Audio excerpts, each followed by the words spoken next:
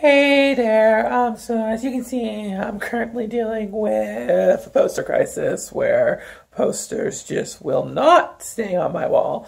But that's okay. Wow, that was really bright. I'm sorry. I didn't realize how bright that window was going to be. This is just kind of a quick check-in vlog because it has been a week. Oh no, I'm covering the camera.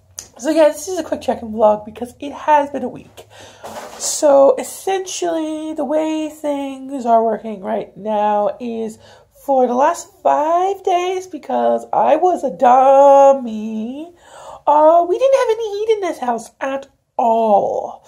Um, well, I guess like we had, uh, thank goodness for my roommate because she had some electric heaters we could plug in. Like there's this fake electric fireplace and this uh, oscillating heat fan she had in her room. So it kept us like toasty enough and kept the house uh, reasonable temperature for the most part.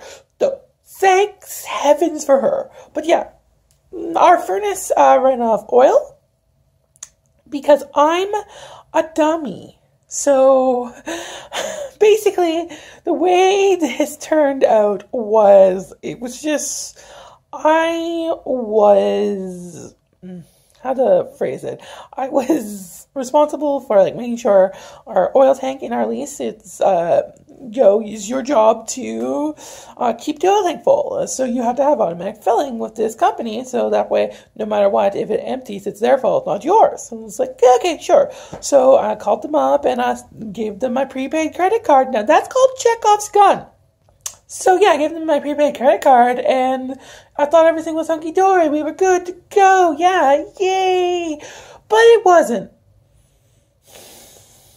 After a while of leaving voicemails that I didn't notice because uh, there's something going on with my phone's voicemail feature I gotta work out. They just kind of are like, yeah, you ran out of oil, okay. Uh, so we insert data, got a tank full, and were saying we had the bleeding started.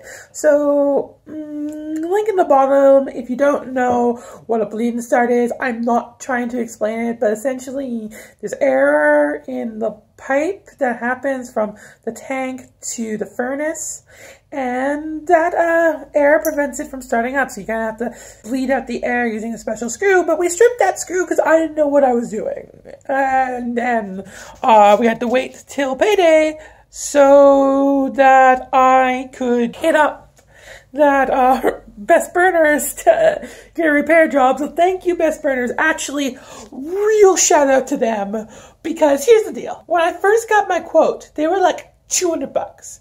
180 if you don't need to replace a specific part, which, spoilers, we didn't have to replace that specific part, but we paid like 117 for it. Because here's what happened. I gave them a call yesterday and I was like, yo, I need a repair job tomorrow and they're like, we're booking into February. Uh, and I know that like the emergency services have like the surcharge, and my roommate guessed it was 80 based on accounts of some of her friends and coworkers. So I was like, oh, okay, I guess we'll have to get the emergency. And then the woman's like, what's your address? Because I'd already called them and the manager had like chewed me out for using pliers when we were trying to bleed and start our furnace. So anyway, like there were notes on my file.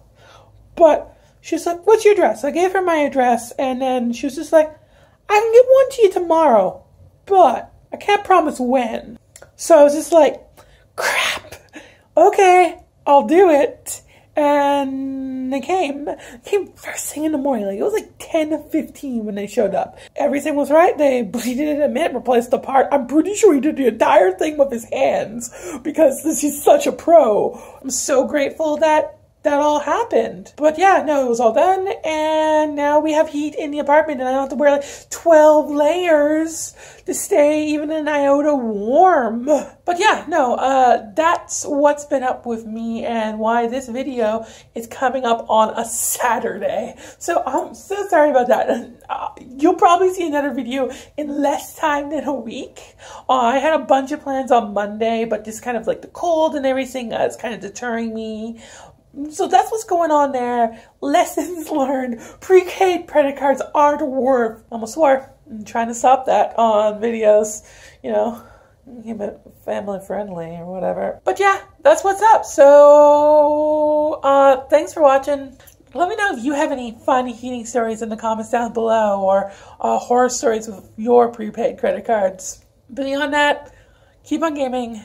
Don't forget to be awesome and let your heart your guiding key.